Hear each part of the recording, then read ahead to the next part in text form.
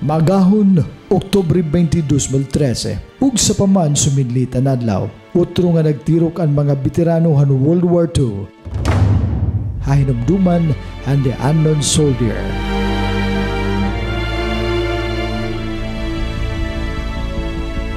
Paghinumdum, han mga bayani nga nagbuhi sa ira kinabuhi, hadto nga madalumdum nga kagahon han Oktubre 20, 1944. Haluyuhan mga karagtatawa, han morayaw ngan mahimiyang yan ang aton pagukoy, hauri nga paypay han nagpapadayon nga pagpaklihan panahon, an makaramdok nga kaagihan aton mga kaganak.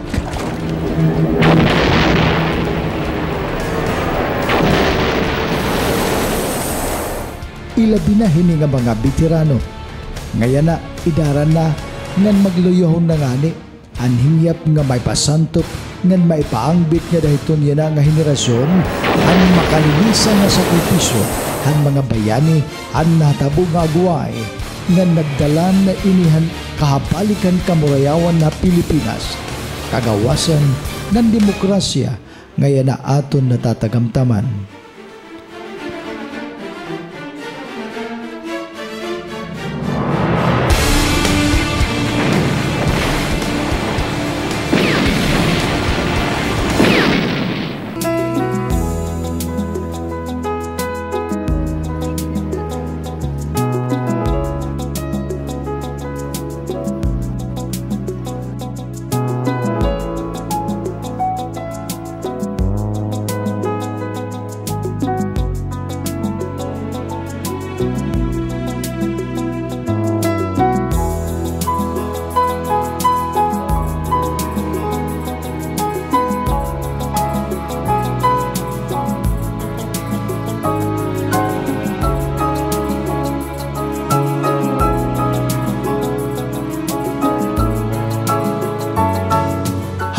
Hasimple nga paghinumdomin sugad hini. Dungan han pagsidlit han adlaw. Ang pagbaktas para pangkamurayawan han mga mulupyo han palo. Hapangunahan alkalde hini nga munisipyo Remedios El Pitilla. Bisan hasugad hini nga pagi. Hinumduman ang makalilisang nga sakripisyo. Ang dadlaganay han mga tao nga putusin kahadlok kada buto-butohin bomba nga nadarahulog nga hunihan mga eroplano di dahil nga makasaysayan nga lugar hapalo iniya na nga binaktasayhin ginatus-gatus ka tao. Gingaranan nga walk for peace. An hiyap ngan ungara nga magpabilin ang kamurayawan ngan higugmaon. Han katawhan ngan han mga kanasuran nga kalibutan ang pangkabugusan ngan dayuday nga kahimyangan.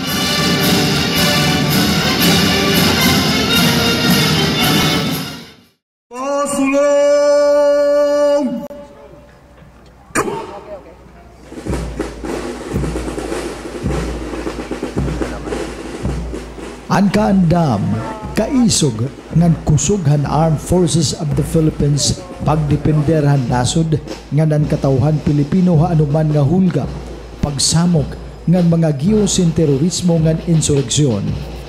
Haluyuhan mga kakulangan hapagkabot han masasarigan nga sagang nananalaytay ang dugo han kamaisog han sundalo nga Pilipino kamaisog nga siguro na ipaangbit han mga bayani ngan mga veterano nga Pilipino han Giyera Mundial numero 2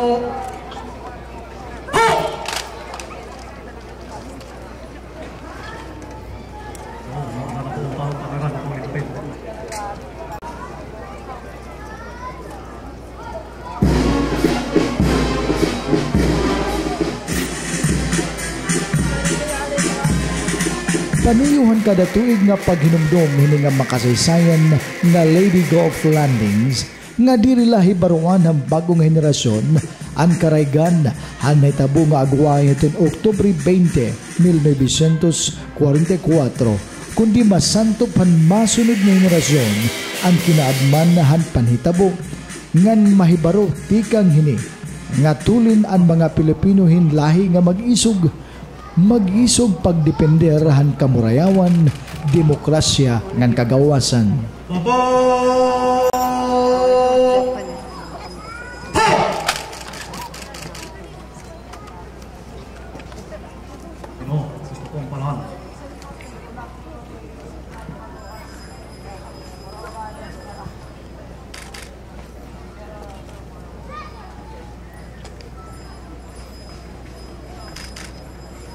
Mga kasama, pinapaabot ng ating panauing pandangal Honorable Eduardo G. Bata, Undersecretary, Department of National Defense, ang kanyang taus-pusong pasasalamat sa parangal ay ginawad natin sa kanya sa umagang ito.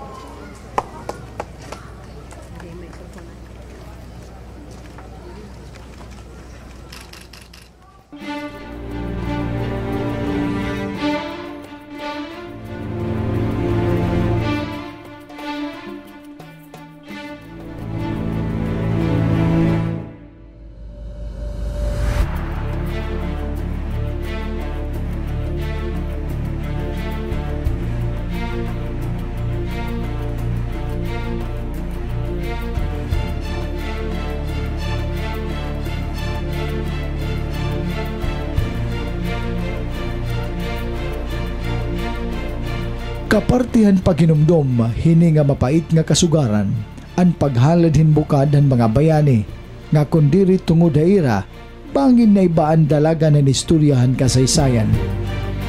Hakahalawagan han kadagatan ng Lady Golf kundi natabo ang gingkukonsiderar nga pinakadako nga agway hakadagatan naval battle hakasaysayan ng kalibutan. Mabot nga tananin 16,900 ang nagkamagtay. 15,000 nga mga sundalo Hapon ngan 1,900 nga mga sundalo han Allied Forces. Tikang han Oktubre 20, pagduong han Allied Forces han Red Beach Palo. Nagpadayon pa kutob December 1944. Mabot 3,500 ang nagkamagtay pa nga mga sundalo han Allied Forces ngan sobra 12,000 pa ang nagkasasman. Samtang 49,000 naman ang Imperial Japanese Army ang namagkamagtay. Hapay-payhan kasaysayan, nasubra 57,000 nga kasundaluhan ang nagbuhis sa nira kinabuhi. Hindi nga guay ha Pilipinas. Labot pahan yinukot-yukot nga mga sibilyan nga Pilipino nga nagkamagtay durot ha naguway. Makalilisang nga presyo hangaran han kagawasan. Demokrasya ngan kamurayawan. Let us pray that peace be now restored to the world and that God will preserve it always.